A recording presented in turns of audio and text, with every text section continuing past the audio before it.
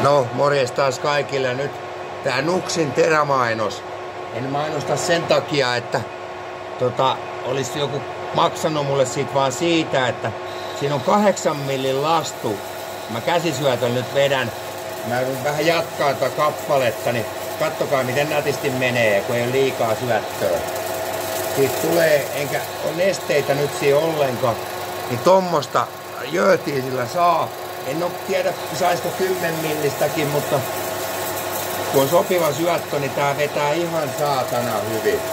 Mut siinä se on nuksin terälle kunnioitus noin hyvä, että en, en ole sen takia terää koskaan hajottanut, että olisi tota, vetänyt niin kuin tavallaan liian ison lastu, mutta se syöttö tietysti pitää olla kohillaan, kun se jokaisella tulee raja vastaan jossain vaiheessa. Ja tää on nyt tämmöistä kokeilua, kun yhdessä videossa kävi semmonen paskatuuri, että tota, vetäsin sen helvetin kappaleen paskaksi, niin, tai väärin mittoihin kävi, se oli ihan omaa tyhmyyttä.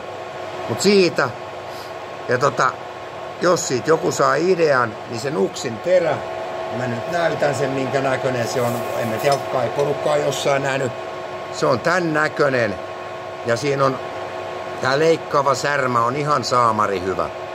Että poikittain kun vedätte oikaisette tällä, niin vetäkää millin lastu, niin varmasti hajoo. Mutta pitkittäin, niin tulee ihan perkelee hyvä. Mutta siitä kaikille, ja se on niinku ketä nuksinteriä tekee, niin olkoon niille mainostaa sitten, jos ei muuta, niin se on taas kaikille moro ja jatketaan jollain muulla. Moi!